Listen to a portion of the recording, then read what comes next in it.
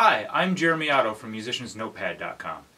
Uh, you probably are here because you took lessons from me or you saw me at a camp and I gave you a handout about how to hold the sticks. Um, this is the video reference for that. If you found this some other way, cool, thanks for coming to this video. Um, please make sure to let us know where you come from and how you found us. We would love to hear from you uh, down in the comments below or any other way you can find us. Um, okay, so first step to holding the sticks. I want you to make a politician's fist. And by that, what I mean is I want you to make like you would, how you would make a fist, but I want you to put your thumb on the outside. Like some politicians will give speeches and they don't want to point at you because it's kind of weird, so they point at you with their thumb. You hold like that, and then you literally just take the stick and drop it in between, keeping your thumb on the stick and all your fingers wrapped around in kind of that position. No gap here. Not tight. You don't need to like really grab it, but just kind of loose, but a closed gap. Do that in both hands. Put them in a V shape on the drum with the thumbs pointing towards each other. You want your palms facing the ground because it's easier to bounce a ball than it is to shake a hand. So you have more range of motion this direction. Make a V on the drum, and now you have to try and find the bounce point. So what I mean by that is you want to find the spot where when you hit it, that stick wants to hop all the way back. In fact, if you let go at the right time, that stick will pop right out of your hand. Okay? Make sure when you go to bounce that you don't fake bounce. What I mean by that is there are two things that I see people do a lot that aren't actually doing this the way they're supposed to. One is they will throw the stick and they'll do this.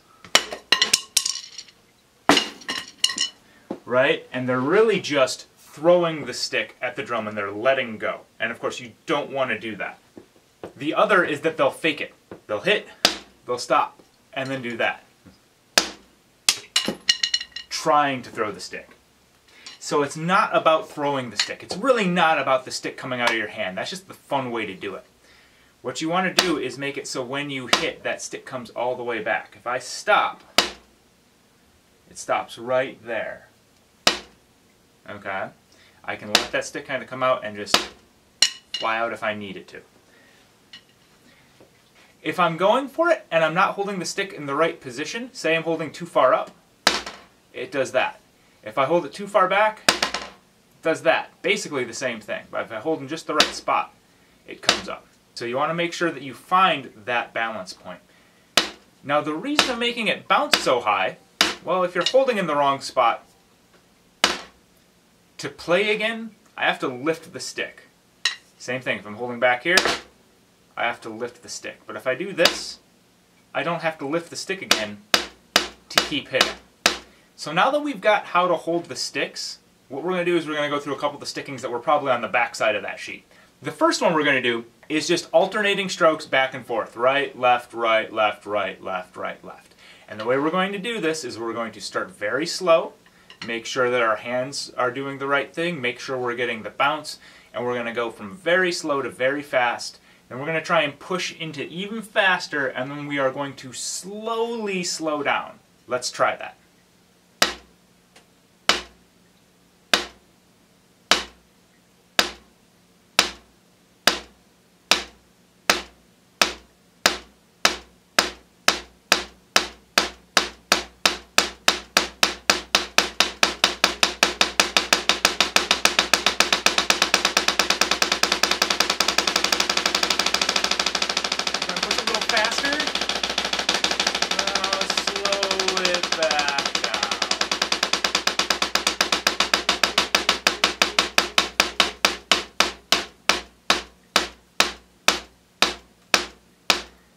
Freeze, take a look at your hands, make sure that your thumb is still in the correct position, make sure that your other fingers are still in the correct position. If they're not, go ahead and fix them and keep track of that next time. Try and feel where it changes. Usually it's at the very fast spots, specifically where you try and push a little faster. Now that was something we call a rudiment, which is essentially like a scale for a drummer. You don't need to really worry about that so much. Just know that if someone says Singles, that's what you just did. It's short for single stroke roll or just alternating strokes. So that is singles. Now we're going to do doubles, which is a short for double stroke roll, and it's just right, right, left, left, right, right, left, left. By the way, if you are left-handed, feel free to switch these and do them the other direction. That is absolutely fine to play this left, left, right, right, left, left, right, right. In fact, at some point, every drummer should take the time to work on their weak hand uh, as well as their strong hand. So for everybody, doing them both ways is definitely recommended.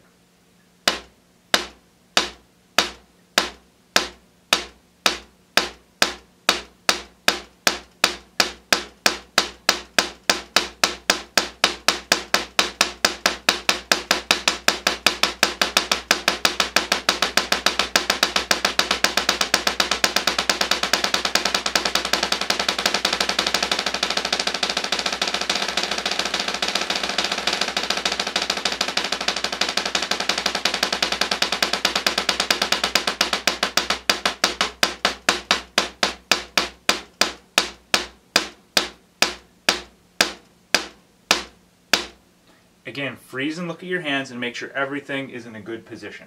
The next one we're going to do is called the paradiddle. And it's right, left, right, right, left, right, left, left. It's a combination of singles and doubles. This one is tough, and for a long time, it's not only going to be tough on your hands, but it's going to be tough on your brain, meaning that you're going to have to think about it a lot more than the others. Let's give it a try.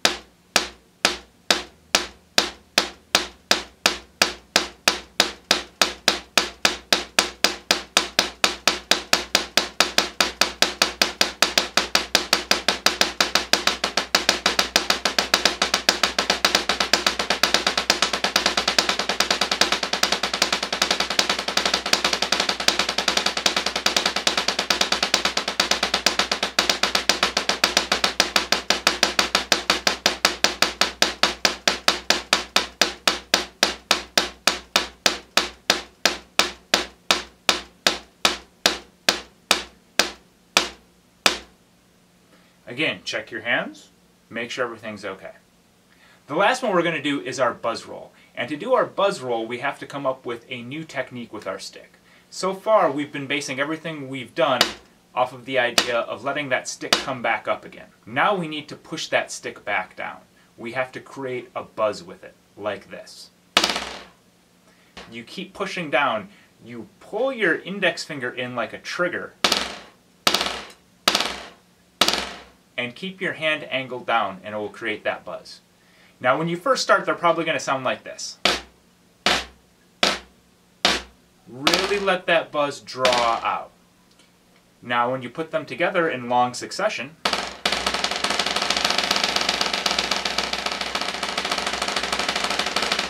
you get your buzz roll. So here we go.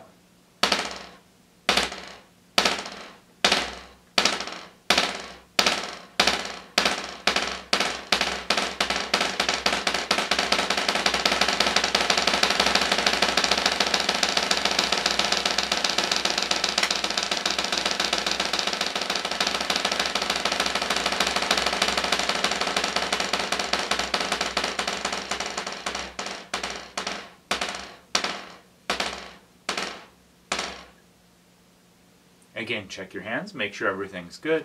So there are four basic sticking patterns and how to hold the sticks to get you started playing. Uh, thanks for checking in. If this video helped you, uh, give it a like, but specifically give us a comment. Let us know we did well. If there's any questions you have, because certainly this is the beginning of a long journey, please leave them in the comments as well, or send us uh, a tweet uh, at Musicians Notes. Uh, like us on Facebook, Musicians Notepad, um, there's all sorts of ways you can get in touch with us. So please do that. Uh, if you are interested in seeing more content, well, most of what we do is based on teaching drums and talking to other teachers, but if you want to get in touch with us or just follow those things, uh, you can subscribe. Uh, you can also go to our website, musiciansnotepad.com, every Wednesday for new content. Um, yeah, I think that's it. Uh, I hope this was really helpful for you, and uh, we'll see you soon. Let's hit it.